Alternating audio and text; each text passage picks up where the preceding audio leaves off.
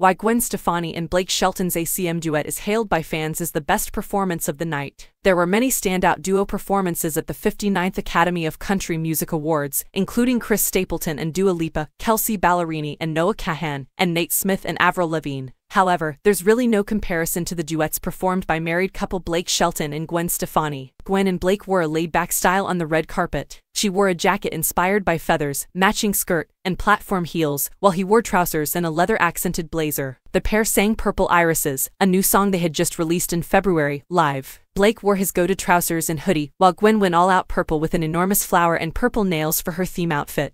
While they sung the love lyrics, the two exchanged warm smiles. There needs to be a love story movie based on their love story. And this whole performance made me smile so big were among the comments made by fans after Prime Video posted the video to their Instagram account. Adore them, some praised their performance, saying it was the highlight of the evening, best of the night, amazing, and my god, Gwen's smiling face with heart eyes and the night's best performance.